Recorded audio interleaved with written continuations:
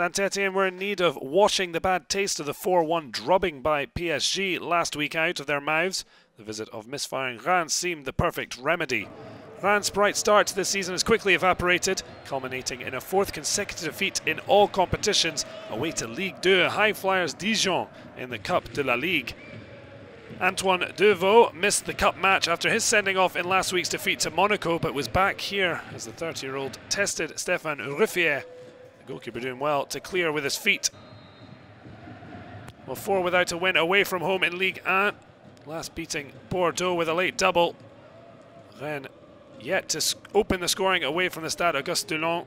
Mickaël Tacalfred failing there. And it was Levert who almost took the lead. The angle just beating Robert Beric. The Slovenian doing well to round Johny Placide, but failing to find the net. Well, Saint-Etienne struggling with a battle at home and abroad with their European commitments.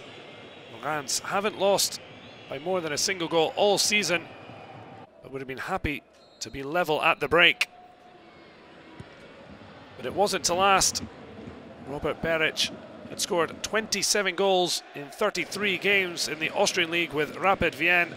And Christophe Galtier would have been delighted to see the 24-year-old find the net here the Cauldron, the Geoffroy Guichard coming to life as the Slovenian international plodding past Johny Placide, who'd only been restored to the starting lineup after sitting out of the Cup de Ligue, and then saw his own teammate head past him, Prince Oniangue, the unlucky recipient there. 13 goals in two seasons before his arrival at the club. No goals this season, sadly his first in his own net. And Christophe Galtier's men made it 3-0. Valentin Eysseric arrived from Nice and equalled his tally from last season, just his second. Two years ago, scored a winner against Reims. This time putting the cherry on the top for Saint-Etienne. Well, it's the first time Reims have lost by more than one this season. As Saint-Etienne get a morale-boosting win Ruffier